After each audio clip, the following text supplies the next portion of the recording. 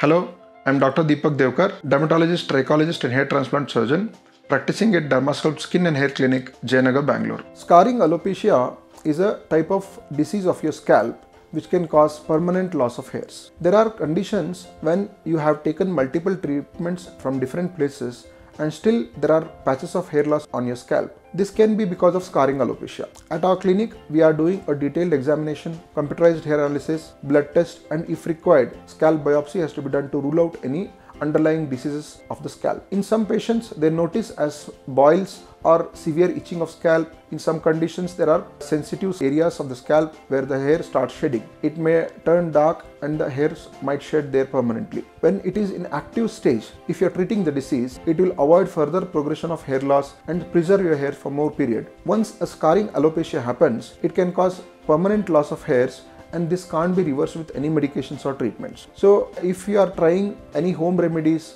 or such unscientific treatments at your home or from uh, people who are not qualified, it may cause permanent loss of your hairs. Hence, we uh, suggest you to consult a dermatologist at our clinic or any other qualified dermatologist to avoid further loss of hairs immediately if you are taking treatment it will help you. The right person has to be consulted to give you the correct advice. These patches of hair loss and the disease progression can continue. By doing the right treatment we can stop this progression of disease. These conditions of scarring alopecia are multiple conditions like lupus of scalp infections folliculitis severe seborrheic dermatitis of scalp, trichotillomania, uh, where there is scratching of scalp with force, using nails on scalp, pulling of hair. Such unhealthy habits may also cause permanent loss of hair. Some burns conditions also can cause scarring alopecia where there is a permanent loss of hair follicles which will cause a permanent scar on your scalp. Such conditions has to be treated medically and avoid from further loss of the valuable hairs from your scalp.